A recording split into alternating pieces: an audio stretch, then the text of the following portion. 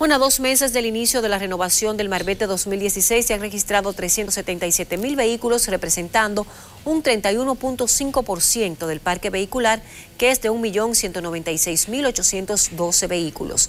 La Autoridad Metropolitana de Transporte advirtió que serán retenidos los vehículos que circulen sin haber renovado, cuyo plazo vence el 6 de enero del próximo año, mientras que la Dirección General de Impuestos Internos cobrará 900 pesos como recargo.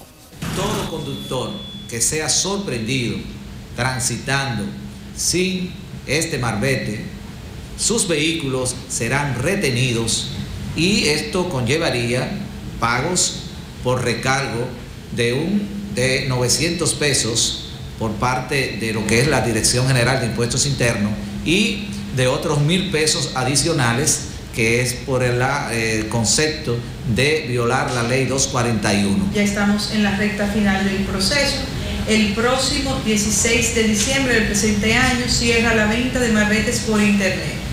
A partir de esa fecha, hasta el 6 de enero del 2007, se puede renovar por las diferentes asociaciones de ahorros y bancos autorizados.